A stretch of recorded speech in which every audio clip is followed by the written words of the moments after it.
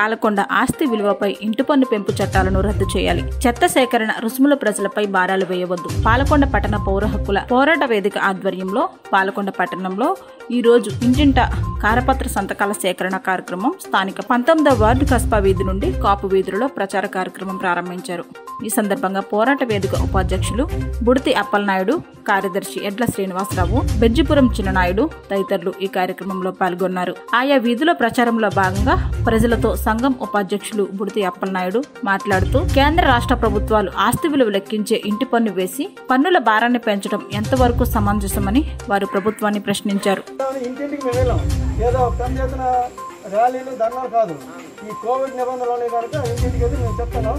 సంఘం తరఫున పట్టణ పౌర హక్కుల వేదిక పోరాట వేదిక తరఫున మేము వచ్చాము.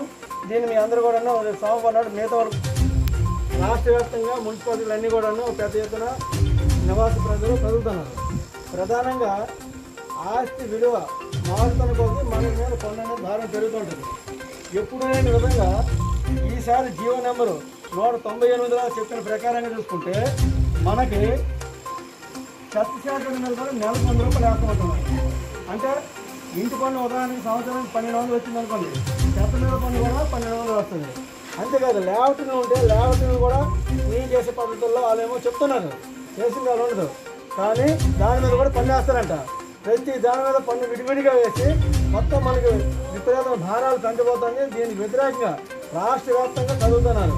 మనం కూడా కదలాలి సంతకాలు సేకరణ చేసి మనం నిరసనగా సోమవారం నాడు మన మున్సిపల్ కమిషనర్కి వినతిపత్రం ఇస్తున్నాం అది మీ అందరి దృష్టిలో పెట్టి చెప్పడానికి వచ్చాం. అందరూ రావాలని చెప్పి చెప్తున్నాం. నిరసన తెలియాలి కదా ప్రభుత్వానికి. అయితే ఎంత ఇంకో మాట